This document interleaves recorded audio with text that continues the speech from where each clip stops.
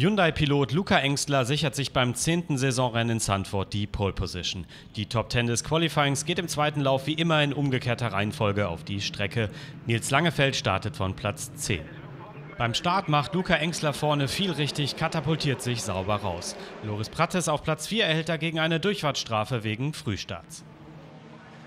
Harald Protschik zusammen mit Langefeld Gesamtführender schnappt sich hier erst Max Hesse und dann Antiburi, Rang 6 für Opel für Harald Protschik. Und auch Nils Langefeld macht einen Platz gut. Ist dann ganz dicht dran an Max Hesse. Es kommt zur Berührung und zum Dreher von Hesse. Das Safety Car muss raus. Beim anschließenden Restart ist Theo Quaco vom Team Engstler hellwach und geht innen vorbei an Loris Prattes auf den zweiten Platz. Luca Engstler bleibt weiter vorne. Dann macht der Niederländer Nils Langefeld ernst und kassiert den Finn Antiburi. Platz 8 für den Lokalmatador und der Auftakt zu einem fulminanten Ritt durch die Dünen von Sandford.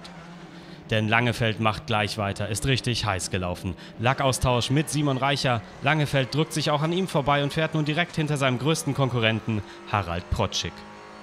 Und auch Protschik hat keine Chance. Langefeld kennt hier jeden Zentimeter der Strecke auswendig und fliegt förmlich über den Kurs. Nachdem er dann auch noch Halder und Wankmüller überholt, ist Langefeld bereits Dritter. An die Spitze schafft er es aber nicht mehr, die Top 3 bleibt unverändert. Doppelsieg für Hyundai. Luca Engstler gewinnt den zweiten Lauf in Zandvoort vor seinem Teamkollegen Theo Quaco. Nils Langefeld wird Dritter. Die Gesamtwertung führt nun Nils Langefeld an, neun Punkte dahinter Harald Protschik vor Luca Engstler. Anfang September geht es für die ADAC TCR Germany weiter am Sachsenring.